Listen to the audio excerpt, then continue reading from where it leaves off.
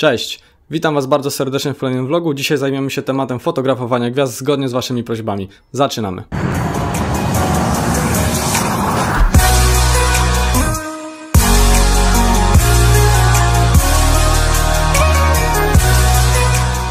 Przede wszystkim, aby zacząć fotografować gwiazdy, musicie się udać z dala od miasta. W mieście jest za dużo światła i wam to się nie uda. Zarejestrujecie pojedyncze gwiazdy, na przykład wielki wóz, ale nie znajdziecie na pewno na niebie drogi mlecznej. Miasta generują bardzo dużo światła i zakłóca nam to nocne niebo.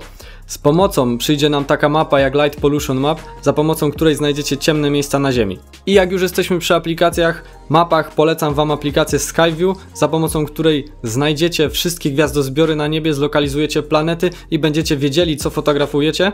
Za pomocą tej aplikacji macie podgląd na żywo, wykorzystuje ona kamerę, wyświetlacz i nakłada Wam na rzeczywisty obraz, gdzie która jest gwiazda. Możecie sprawdzić też ruch Słońca, Księżyca, każdej planety, to co Was interesuje.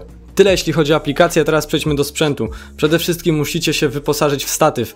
Ja akurat do tego zdjęcia, które Wam się tak bardzo na Instagramie spodobało, skorzystałem z mojego statywu, którym często kręcę vlogi. To jest statyw Manfrotto Pixivo, on jest dość mały, może nie jest super stabilny, ale dla mnie on jest mega mobilny, ja go mogę wrzucić w plecach. Im większy statyw, masywniejszy, tym ujęcie będzie mniej poruszone i będzie pewne, nie będziecie mieli żadnych drgań i męczyć się z prawidłowym kadrem.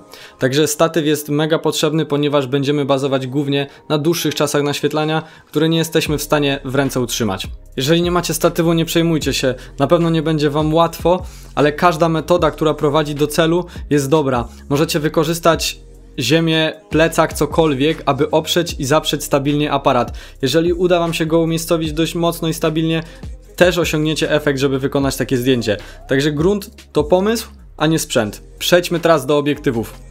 Obiektyw fajnie, jeżeli będzie jasny. Im jaśniejszy, tym lepiej będzie nam łatwiej uchwycić te gwiazdy, co spowoduje też jasność obiektywu to, że będziemy mogli użyć niższego ISO, a więc mniej szumu się pojawi na tym zdjęciu.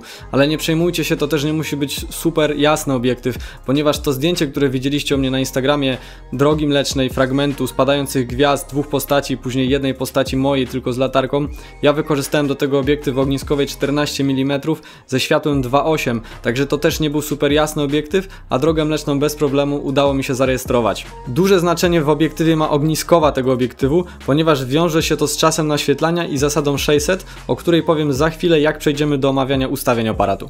Jeśli chodzi o ustawienie ostrości obiektywu, zawsze ustawiamy na nieskończoność. Możemy skorzystać manualnie z ustawień za pomocą pierścienia i patrzenia na skalę i ustawienia i tak, aby była wartość nieskończoność, albo za pomocą autofokusa, a następnie go zablokować i już później nie ruszać. Przejdźmy teraz już do samego aparatu. Korzystamy przede wszystkim z trybu manualnego. Z pomocą przyjdzie nam tryb Live View, za pomocą którego będziemy mieli podgląd symulowanej ekspozycji, ponieważ światłomierz w takich warunkach nie do końca sobie dobrze radzi i musicie najczęściej tą metodą prób i błędów zobaczyć, co wychodzi. Jeśli chodzi o ustawienie przysłony, to staramy się mieć ją jak najbardziej otwartą. Wiadomo, tracimy wtedy trochę na rozdzielczości zdjęcia, ale ponieważ fotografujemy w bardzo ciemnych warunkach, jest to dość konieczne. Kolejna rzecz to jest ISO.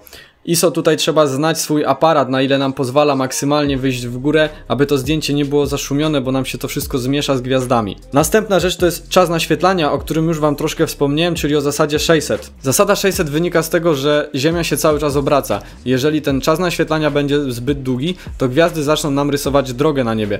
To jest bardzo fajny efekt i wiele na pewno zdjęć takich widzieliście, kiedy gwiazdy zataczały okręgi. Bardzo fajnie to wygląda, ale jeżeli chcemy sfotografować gwiazdy stojące w miejscu na niebie jako punkty świetne, musimy skorzystać z zasady 600. Zasada 600 jest to wzór matematyczny, za pomocą którego przy danej ogniskowej możecie obliczyć jak długi może być czas naświetlania, aby gwiazdy zostały jako punkty świetne, a nie zaczęły już nam rysować drogi. Ten wzór jest bardzo prosty. Mając wartość ogniskowej, na przykład mówimy tutaj o obiektywie teraz przy pełnej klatce, ja wtedy fotografując to zdjęcie miałem ogniskową 14 mm obiektyw, dzielę w takim razie 600 przez 14 mm, co daje mi w przybliżeniu około 42, czyli wiedziałem, że fotografując w trybie manualnym czas naświetlania maksymalnie jaki mogę użyć to 42 sekundy i te gwiazdy mi się nie rozmyją. Zwróćcie uwagę, że teraz jeżeli będziemy używać im dłuższej ogniskowej, na przykład 100 mm, ten czas się skraca, bo wtedy on już osiąga tylko maksymalnie 6 sekund. Jeśli chodzi o przeliczanie tego na matrycach ASPC niepełnoklatkowych, wzór jest tak samo wygląda, tylko musicie przeliczyć swoją ogniskową przez ekwiwalent. Na przykład mając obiektyw 17 mm, mnożycie tą wartość razy 1,6, jeżeli wasza matryca akurat taki ma mnożnik, tak ma Canon, stąd wziąłem to jako przykład, mnożycie to 17 mm razy 1,6 i dopiero tą wartością będziecie dzielić 600 przez tą wartość, czyli to jest 600 przez 27 mm, co da Wam około 22 sekundy maksymalny czas naświetlania, jaki możecie użyć. To tyle jeśli chodzi o moje wskazówki dotyczące fotografowania gwiazd i nocnego nieba, ale to nie koniec procesu powstawania tego zdjęcia. Czeka nas jeszcze obróbka, ale o tym opowiem w kolejnym vlogu z serii Lightroom by Kubełkowaty, w którym pokażę Wam jak obrobić takie zdjęcie i jak wyciągnąć. Bo zwróćcie uwagę, teraz Wam wyświetlę tutaj zdjęcie przed i po, jaka jest różnica, o ile gwiazd więcej się pojawiło, ponieważ odpowiednimi suwakami jesteśmy w stanie o wiele więcej wyciągnąć z surowego pliku RAW. Ja Wam bardzo dziękuję za wytrwanie do końca. Mam nadzieję, że spodobał Wam się ten odcinek. Jeśli Wam się podobał, zostawcie łapkę w górę. Napiszcie w komentarzach, jakie kolejne tematy mam dla Was poruszyć, a ja postaram się je zrealizować. Dzięki jeszcze raz za wytrwanie do końca. Zachęcam do subskrypcji i do zobaczenia w kolejnym vlogu. Trzymajcie się. Hej!